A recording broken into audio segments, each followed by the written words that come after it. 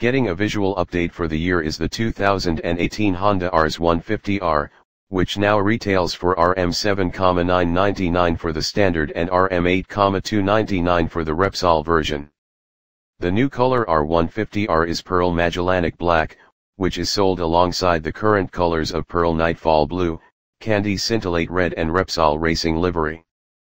Power for the RS150R comes from a liquid-cooled 149.7 cubic centimeters, 4-valve DOHC engine that produces 15.6 horsepower at 9000 rpm and 13.5 nanometers torque at 6500 rpm, coupled to a 6-speed gearbox and manual clutch, with chain final drive.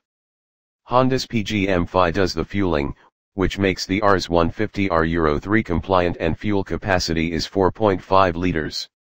Suspension is with non-adjustable telescopic forks in front, and a single shock absorber at the rear. A storage compartment is found under the seat and inside the cockpit is an analog speedometer with LCD screen showing relevant information such as fuel gauge, odometer and clock. The RS150R weighs in at 122 kilograms and seat height is set at 764 millimeters, while LED lighting is used for the headlights.